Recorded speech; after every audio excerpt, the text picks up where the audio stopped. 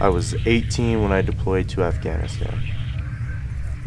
My platoon's job was to go out, provide reconnaissance, and engage with the Afghan population. I was struggling after my reintegration after military back into civilian life. I saw a video on like Facebook of like a bareback rider or some sort. I was like, that looks terrifying. I think that I'd like to try that. And uh, I had never sat on a horse. So when I finally got in and sat on him, I was like, whoa, this is crazy. I had to have help putting my rigging on the back of this horse. And right now you gotta do this and slide up and nod your head. And I was still just hyper focused on the fact that I was sitting on a horse that was about to buff me off. So I just kind of did what I could, nodded my head, and I pitched off like the second jump hit the ground, and I was like, wow, that wasn't as bad as I thought it'd be. Now I want to ride one for eight seconds. September 28th, I went to a college rodeo in Riverton, Wyoming. Got on, it was just another rodeo, another horse.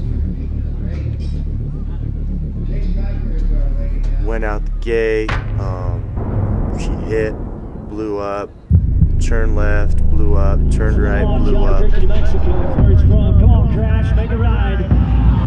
That fourth jump, when she really blew up, I remember setting my feet and I was like, ah, something's not right with this one. And then next thing I knew, she had uh, missed her back feet, tried catching herself, and just threw herself back into the panels. And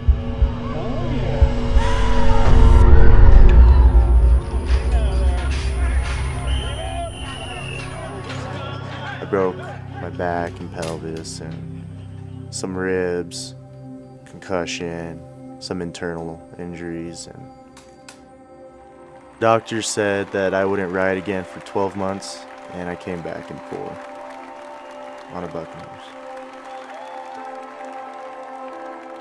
As this man gets ready to try it out of the Wrangler bucking chutes, I want to tell you the story of Zach Thomas. You're about to meet a bareback rider who just won an award named for Pro Rodeo Hall of Famer Walt Garrison at the College National Finals Rodeo.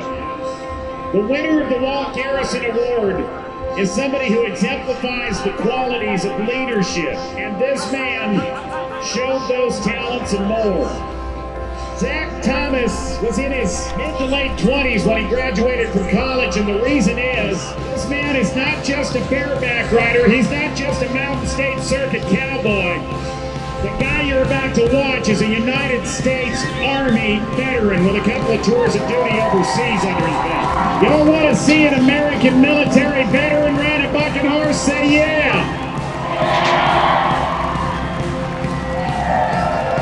bless you for your service. Thank you for our freedom.